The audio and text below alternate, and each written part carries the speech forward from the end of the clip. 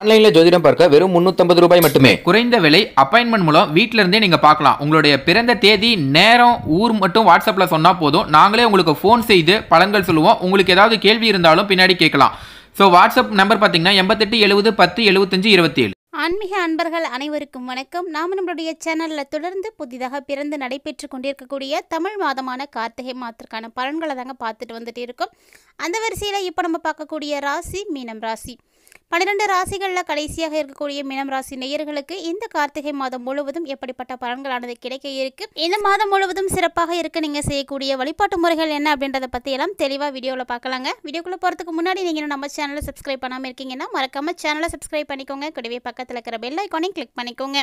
அப்பதான் நாங்க போடக்கூடிய வீடியோக்கள் எல்லாமே உங்களுக்கு நோட்டிஃபிகேஷனாக உடனுக்குடன் வந்தடையும். நீங்களும் பார்த்து பயன்பெறலாம் வாங்க வீடியோக்குள்ளே போகலாம். பொதுவாக தமிழ் மாதங்கள் ஒவ்வொன்றுமே நவகிரகங்களின் தலைவனாக இருக்கக்கூடிய சூரியனுடைய பெயர்ச்சியை வைத்து தான் வந்து கணக்கீடே செய்கிறாங்க அந்த வகையில் பார்த்தீங்கன்னா இதுவரைக்கும் துலா ராசியில் பயணித்து வந்த சூரிய பகவான் தற்போது செவ்வாயை ஆட்சி அதிபதியாக பெற்றிருக்கக்கூடிய விருச்சக ராசியில் இருக்கக்கூடிய விசாக நட்சத்திரத்துக்குள்ள வந்து நுழைஞ்சிருக்காரு. ஸோ இது மாதிரி துளாராசியிலேருந்து விருச்சக ராசியில் பயணிக்கக்கூடிய காலகட்டத்தை தான் கார்த்திகை மாதம் அப்படின்னு சொல்கிறோம் இந்த கார்த்திகை மாதத்தினுடைய தொடக்கமானது நவம்பர் மாதம் பதினாறாம் தேதி அன்னைக்கு ஆரம்பமாயிருக்குங்க. நவம்பர் பதினாறாம் தேதி அன்னைக்கு சூரியன் விருச்சக ராசிக்குள்ளே வந்து நுழைஞ்சிருக்காரு. இவர் வந்து டிசம்பர் மாதம் பதினஞ்சாம் தேதி வரைக்கும் விருச்சக ராசியில் தான் இருப்பார். இந்த நிலையில் இவர் கொடுக்கக்கூடிய பலன்கள் எப்படி இருக்கும்? மீனராசி என்பர்களுக்கு நல்ல வகையில் இருக்கா? அவங்களுடைய எதிர்பார்ப்புகள் அனைத்தும் பூர்த்தியாகக்கூடிய வகையில் இந்த கிரகமானது செயல்பட போகுதா அப்படின்றத எல்லாத்தையுமே நம்ம தெளிவாக தொடர்ந்து பார்க்கலாம்.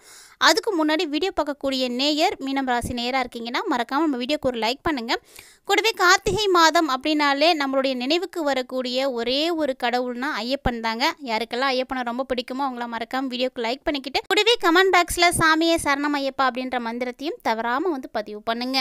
ஐயப்பனுடைய அருளால கார்த்திகை மாதம் சிறப்பாக இருக்க மினராசி என்பர்களுக்கு வாழ்த்துக்களையும் சொல்லிட்டு நம்ம வாங்க பதிவுக்குள்ள போயிடலாம். தமிழ் மாதங்களில் சிறப்பாகவும் அற்புதமாகவும் இருக்கக்கூடியது கார்த்திகை மாதம். கார்த்திகை மாதம் எந்த அளவுக்கு ஐயப்பனுக்கு உகந்ததோ அதே போல சிவபெருமான வழிபாடு செய்வதற்கும் உகந்த மாதம் தாங்க முருகப்பெருமான் சிவபெருமான் இப்படி உங்களுக்கு என்ன தெய்வங்கள் இஷ்ட தெய்வங்களாக இருக்கோ அதை எல்லாத்தையுமே இந்த முப்பது நாட்களும் விரதம் இருந்து வழிபாடுகள் செய்யலாம். ரொம்ப ரொம்ப அற்புதமான பலன்கள் வந்து கொடுக்கும்.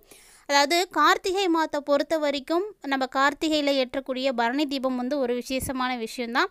அந்த வகையில் இந்த மாதம் வரக்கூடிய முப்பது நாட்களுமே நீங்கள் எந்த கடவுளுக்காக வேண்டுமானாலும் விரதம் இருந்து வழிபாடுகள் செய்வதற்கு நேர்த்தியான ஒரு மாதம்னு சொல்லுவாங்க. அதில் நம்மளுடைய விருப்பங்கள் அனைத்தும் நிறைவேற்றக்கூடிய மாதம் அப்படின்னு தான் கார்த்திகை மாதம் வந்து சொல்லியிருக்காங்க.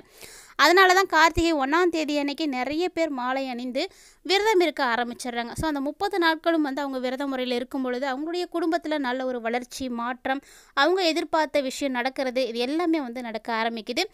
அது மாலை அணிவிக்காமலும் கூட நம்ம விரதம் இருக்கலாம். முப்பது நாட்களும் விரத நாட்களாக எடுத்துக்கும் பொழுது ரொம்பவே நல்ல மாற்றம் கிடைக்கும். ஸோ கண்டிப்பாக ட்ரை பண்ணி பாருங்கள் இவ்வளவு அற்புதமான இந்த கார்த்திகை மாதம் மீனராசி நேர்களை உங்களுடைய வேலையில் நல்ல ஒரு வளர்ச்சி ஏற்படக்கூடிய மாதமாக இருக்குது ஸோ கண்டிப்பாக வேலை இல்லாதவர்கள்லாம் இந்த டைமில் வேலை ஏதாவது ஒன்று தேடிக்கோங்க. நம்முடைய வளர்ச்சிக்கான காலகட்டம் அப்படிங்கும் பொழுது நமக்கு வேலை அப்படின்ற ஒன்று கண்டிப்பாக இருக்கணும். ஏன்னா அதன் மூலமாக தான் நம்மளுடைய வளர்ச்சியை வந்து நம்ம பார்க்க முடியும்.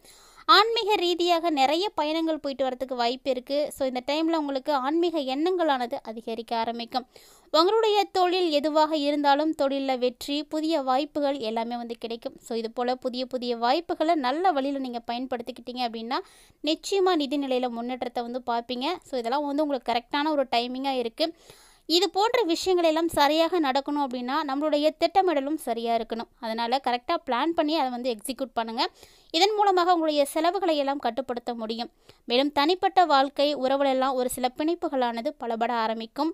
குறிப்பாக மீனராசி நேர்களுடைய வாழ்க்கையில் மகிழ்ச்சியானது நிரம்பி காணப்படக்கூடிய மாதமாக இந்த மாதம் காணப்படுது.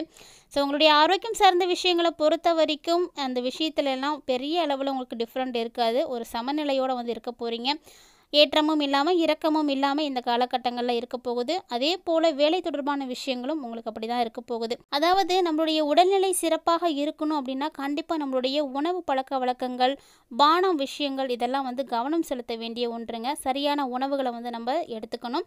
அப்போ தான் ஆரோக்கியமும் வந்து சிறப்பாக இருக்கும். இவ்வளவு சிறப்புகளை பெற்றிருக்கக்கூடிய இந்த மாதம் உங்களுடைய பொறுமையோடு வந்து கடைபிடிக்க வேண்டிய மாதம்னு கூட சொல்லலாம். ஏன்னா எந்த ஒரு காரியமாக இருந்தாலும் ஒரு முறைக்கு பல முறை அதை முயற்சி செய்த பிறகு தான் வந்து செய்து முடிக்க முடியும். அதுபோல் எதிலும் தடை தாமதங்கள் அப்படிங்கிறது இருக்கத்தான் செய்யும். இருந்தாலுமே கூட முயற்சி அப்படிங்கிறது உங்களுக்கு கைவிடாமல் இருக்கணும். ஸோ அப்போ தான் முயற்சியானது உங்களுக்கு வெற்றியில் போய் முடிவடையும். தேவையற்ற அலைச்சல் வாழ்க்கை துணையால பிரச்சனைகள் இதெல்லாம் வந்து அப்பப்போ ஏற்பட்டுட்டு தாங்க இருக்கும். ஸோ இதெல்லாம் வந்து பெரிதாகாமல் பார்த்துக்கோங்க இதெல்லாம் உங்களுடைய புத்திசாலித்தனமும் கூட. குடும்பத்தில் மனைவி மற்றும் மகளுடைய ஆசைகளை எல்லாம் கேட்டு அதை வந்து நிறைவேற்றுவது அப்படிங்கிறது ரொம்ப ரொம்ப சிறப்பானது. இது குடும்பத்தில் மிகப்பெரிய வளர்ச்சியை வந்து கொண்டு போய் சேர்க்கும். வேலை சார்ந்த விஷயங்களை பொறுத்த வரைக்கும் மீனம் ராசி நேயர்களே அலுவலகத்தில் பணி சுமை அப்படிங்கிறது அதிகமாக இருக்கும். ஸோ எதிர்பார்த்த சலுகைகள் அப்படிங்கிறது கிடைக்கிறதுல கூட தடை தாமதங்கள் எல்லாம் ஏற்படலாம். அதே போல் சக ஊழியர்களிடம் போதுமான ஒத்துழைப்பு அப்படிங்கிறது உங்களுக்கு கிடைக்காது. இதனால் நிறைய பிரச்சனைகளை நீங்கள் வந்து பார்க்க வேண்டி இருக்கும். அதனால் வேலை செய்யக்கூடியவங்களுடைய ஒத்துழைப்புகளை நீங்கள் பெருசாக எடுத்துக்காமல் உங்களுடைய வேலைகளை கரெக்டாக செய்துக்கோங்க. வியாபாரம் செய்யக்கூடிய அன்பர்கள்லாம் எவ்வளவுக்கு எவ்வளவு நீங்கள் உழைக்கிறீங்களோ அவ்வளோக்கு அவ்வளோ லாபம் பார்க்கலாங்க. எல்லாமே உங்களுடைய உழைப்பு தான் உங்களுடைய கையில் தான் இருக்குது அதே போல் இந்த காலகட்டங்களில் பற்று வரவு அப்படிங்கிறதும் சுமூகமாக வந்து இருக்கும். மறைமுக போட்டிகளை எல்லாம் முறியடித்து வெற்றி காணக்கூடிய அற்புதமான தருணம். மாணவர்களை பொறுத்த வரைக்கும் கஷ்டப்பட்டு படிச்சிங்க அப்படின்னா மட்டும்தாங்க தேர்வில் நல்லா மதிப்பெண் பெற முடியும். நினைவில் வைத்துக்கோங்க. அதே போல் நண்பர்களோட பழகும் பொழுதெல்லாம் ரொம்ப ரொம்ப நீங்கள் கவனமாக வந்து இருக்கணும். மேலும் இந்த நாட்களில் பெண்களை பொறுத்த வரைக்கும் அதாவது மீனராசியுடைய பெண்கள் குடும்பத்தை நிர்வகிக்கக்கூடிய பெண்களாக இருக்கீங்கன்னா கொஞ்சம் சிரமம் அப்படிங்கிறத பார்ப்பீங்க ஏன்னா சிரமப்படக்கூடிய ஒரு மாதம் தான் அலுவலகத்துக்கு செல்லக்கூடிய பெண்களாக இருக்கீங்க அப்படின்னா பணிச்சுமை அப்படிங்கிறது உங்களுக்கு அதிகமாக இருக்கும். இருந்தாலுமே கூட இந்த காலகட்டங்களில் எதையுமே வந்து பெரிதுபடுத்திக்காமல் உங்களுடைய குடும்பத்திற்காக நீங்கள் உழைக்கும் பொழுது நல்ல ஒரு மாற்றத்தை வந்து பார்க்கலாம். என்னதான் நமக்கு கிரக அமைப்புகள் எல்லாம் சரியாக இருந்தாலுமே கூட எல்லா விதமான பலன்களும் கரெக்டாக கிடைத்தாலுமே கூட அப்பப்போ ஒரு சின்ன சின்ன பிரச்சனைகள் அப்படிங்கிறது இருந்துக்கிட்டே தான் இருக்கும். ஸோ அந்த வகையில் கார்த்திகை மாதம் முழுவதும் உங்களுக்கு சிறப்பாக இருக்க செய்ய வேண்டிய எளிமையான பரிகாரமாக ஞாயிற்றுக்கிழமைகளில் சூரிய பகவானுக்கு செம்பருத்தி மாலையை அணிவித்து நீங்கள் வழிபாடு செய்துட்டு வாங்க. ரொம்பவே அற்புதமான ஒரு பலன் கிடைக்கும். இந்த ஒரு பரிகாரத்தை நீங்கள் செய்வதால் நல்ல மாற்றம் கிடைக்கும். கூடவே இந்த மாதம் நீங்கள் வழிபாடு செய்ய வேண்டிய தெய்வம் சூரியன் மற்றும் தட்சிணாமூர்த்தி. உங்களுடைய அதிர்ஷ்டகரமான எண்களாக ஐந்து ஏழு மற்றும் ஒன்பது ஆகிய மூன்று எண்கள் இருக்குது சந்திராஷ்டம நாட்கள் பார்த்தீங்கன்னா நவம்பர் மாதம் இருபத்தி நான்கு மற்றும் இருபத்தி ஐந்து ஆகிய ரெண்டு நாட்கள் இருக்குது ஸோ இனி வரக்கூடிய நாட்களில் உங்களுக்கு சந்திராஷ்டமம் இருக்கிறதுனால ரெண்டு நாட்களுமே ரொம்ப ரொம்ப கவனமாக இருக்கணும் பொறுமையாக இருக்கணும். அதே போல் வண்டி வாகன பயணங்களில் போகும்பொழுதெல்லாம் கவனமாக போயிட்டு வாங்க. இந்த மாதம் உங்களுடைய சாதாரணமான நாட்களாக நவம்பர் மாதம் பத்தொன்பது இருபது இருபத்தி ஒன்று இருபத்தி இரண்டு இருபத்தி மூணு இருபத்தி ஏழு இருபத்தி எட்டு இருபத்தி ஒன்பது முப்பது. கூடவே டிசம்பர் ஒன்று இரண்டு ஆறு ஏழு பதினொன்று பன்னிரெண்டு மற்றும் பதினாறு ஆகிய நாட்கள் எல்லாம் காணப்படுது. ஸோ இந்த நாட்களை தவிர்த்து உங்களுடைய சந்திராஷ்டம நாட்களை மட்டும் நீங்கள் நினைவில் வைத்துக்கோங்க. வரக்கூடிய நவம்பர் இருபத்தி நான்கு இருபத்தைந்து ரொம்ப ரொம்ப முக்கியமான நாள். அதனால் கவனத்தோடு இருக்கணும். ஆல்ரெடி பார்த்தீங்கன்னா நம்மளுடைய சேனல்லையே வந்து வழிபாடு செய்யக்கூடிய கடவுள் வந்து யாருன்னு சொல்லிட்டோம். ஸோ சூரியனாக இருந்தாலும் சரி தட்சிணாமூர்த்தியாக இருந்தாலும் சரி உங்களுக்கு எதை வழிபாடு செய்வதற்கு கம்ஃபர்டபுளாக இருக்கோ அதை நீங்கள் வந்து கண்டிப்பாக வந்து வழிபாடு செய்யுங்க. மேலும் சொல்லியிருக்கக்கூடிய எளிமையான பரிகாரங்கள் வந்து ரொம்ப ரொம்ப ஈஸியாக எல்லாரும் செய்யக்கூடியது. ஞாயிற்றுக்கிழமைகளில் நீங்கள் சூரிய பகவானுக்கு நவகிரகங்களில் போய் வழிபாடு செய்ய முடியாவிட்டாலும் பரவாயில்ல.